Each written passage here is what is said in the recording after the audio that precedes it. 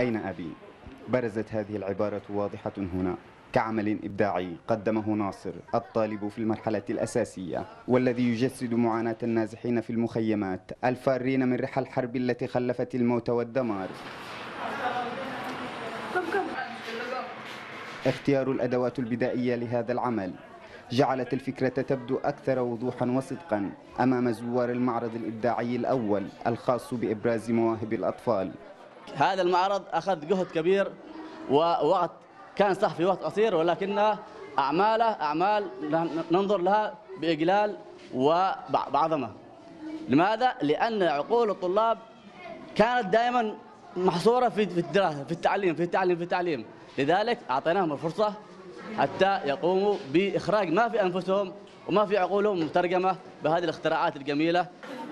في هذه الزاوية الخاصة بالتراث الشعبي وقفت آثار بجانب تلاميذها غير مخفية كلمات الإعجاب بما قاموا به من أعمال تستحق الاهتمام والكثير من التحفيز. كان هدفنا الأساسي أن نخرج الطفل من الحروب وأصوات الرصاص والنزاعات وحل مشاكل إلى آه إلى حياة أفضل أرقى آه إلى مستقبل بتكون في معه إن شاء الله.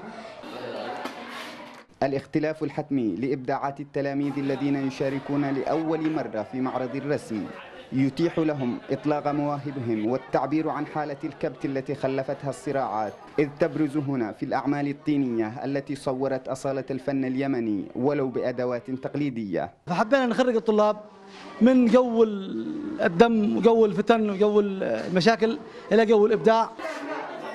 التنوع في الإبداع الذي قدمه الأطفال يبدو من أكثر الدلائل في حاجتهم لمثل هذه الأنشطة التي تخلق لهم واقعا مغايرا للهروب من حالة الحرب والبحث عن الاستقرار. لطفي إبراهيم قناة بلقيس أبين